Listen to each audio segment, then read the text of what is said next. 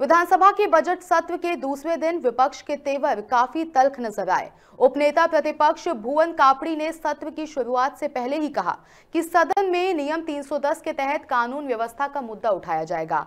वहीं नेता प्रतिपक्ष यशपाल आर्य ने सदन को बिना किसी व्यवधान के चलाने की बात कही।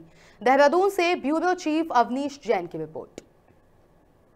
आज की तैयारी, हमारी कानून व्यवस्था जो है 310 में हम लोग उसको ला रहे हैं, जो प्रदेश का बदहाल हाल है उसके लिए, कि महामहिम राष्ट्रपति देहरादून में होते हैं और उनके काफिले से 300 मीटर दूर डकैती हो जाती है।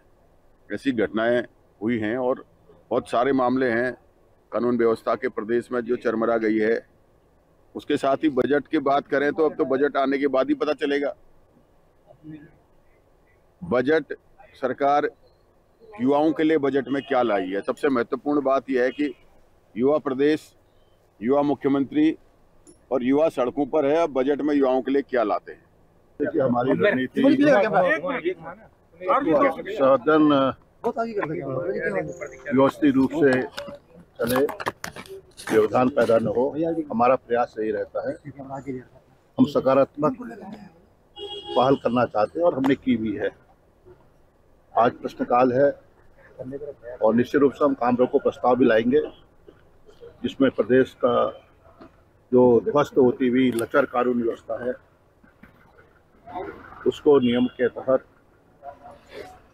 हम उठाएँगे।